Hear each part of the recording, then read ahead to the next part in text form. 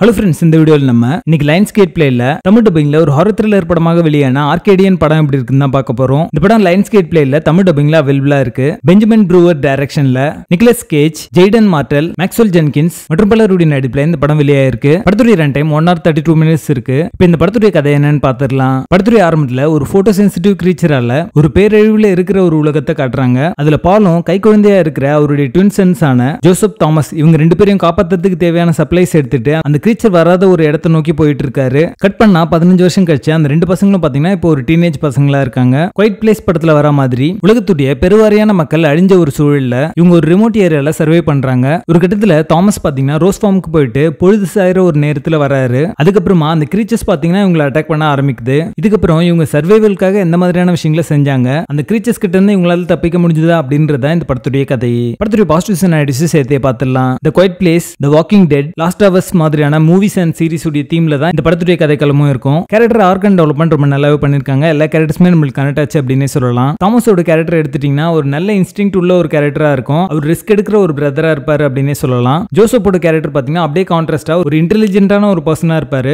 அவங்களுடைய சர்வைவலுக்கு அடுத்து என்ன பண்ணணும் அப்படின்றத யோசிக்கிற ஒரு நபரா இருப்பாரு. இந்த படத்துல ஒரு கிரீச்சரை விஷுவலா ரொம்ப டிஃப்ரெண்ட்டாக வந்து போர்ட்ரே பண்ணிருப்பாங்க. அது பார்க்கறதுக்கு நல்லா இருக்கும் அதே மாதிரி கிரீச்சர் வர சீக்வன்ஸ் எல்லாமே டென்ஷன் பில்டிங் ரொம்ப நல்லாவே பண்ணியிருந்தாங்க அப்படின்னே சொல்லலாம். அந்த கிரீச்சருக்கு எந்த மாதிரியான குணாதிசயம் இருக்கு அப்படின்றத ப்ரெடிக்ட் பண்ண முடியாத மாதிரி அமைஞ்சிருக்கும். அதுதான் இந்த படத்துடைய ப்ளஸ் அப்படின்னே சொல்லலாம். இந்த படம் ஒரு லோ பட்ஜெட் மூவி அப்படின்றது தெரியாத அளவுக்கு கிரீச்சருக்கான அந்த ஸ்பெஷல் எஃபெக்ட்ஸ் எல்லாமே ரொம்ப நல்லாவே பண்ணியிருப்பாங்க. சினிமாட்டோகிராஃபி பொறுத்த வரைக்கும் நிறைய ஷேக்கி கேமரா ஆங்கிள்ஸ் யூஸ் பண்ணியிருப்பாங்க. அது ரேசியான சீக்வன்ஸ்க்கு ஓகே இருந்தாலுமே நார்மலா இருக்கிற ஒரு சீக்வன்ஸ்க்குமே பார்த்தீங்கன்னா ஷேக்கியான கேமரா ஆங்கிள்ஸ் வந்து ஒரு மைனஸ் அப்படின்னே சொல்லலாம். இந்த படம் நிக்கலஸ் கேஜுடைய ஒரு படம் இல்லை. அவர் ஒரு எக்ஸ்டெண்டட் சப்போர்ட்டிங் கேரக்டர் நடிச்சா எப்படி இருக்குமோ அந்த மாதிரி தான் இந்த படத்தில் இருப்பார். இந்த படத்தில் நடிச்ச எங்க ஆக்டர்ஸ்க்கும் ஸ்டோரிக்கும் மூவி போஸ்டருக்கும் சப்போர்ட் பண்ற ஒரு ஆக்டரா நிக்கலஸ் கேஜ் வந்திருக்காரு. அவருடைய எமோஷனல் போர்ஷன் ரொம்ப நல்லாவே ஒர்க் அவுட் ஆச்சு அப்படின்னே சொல்லலாம். இந்த படத்துல இந்த பேரழிவுக்கான துவக்கம் எப்படி இருந்துச்சு அப்படின்றதையும் கிரீச்சர் எதுக்கு டெய்லி வந்து நாக் பண்ணுது அப்படின்ற கேள்விகளுக்கு பதில் சொல்லாமே முடிச்சிருப்பாங்க. தமிழ் டப்பிங் நீட்டா லிப்சிங்கோட பண்ணிருக்காங்க படத்துடைய பேசிங் ஆவரேஜா இருக்கும். உங்களோட பொறுமையை சோதிக்கிற மாதிரியான நிறைய காட்சிகள் இந்த படத்துல இருக்கு. மொத்தத்துல இது ஒரு one time watchable horror thriller படமாக வந்திருக்கு. படத்துல மைல்டு எடுக்க கோரி சீக்வன்ஸும் இருக்கு. ஸோ கிட்ஸோட பார்க்காதீங்க.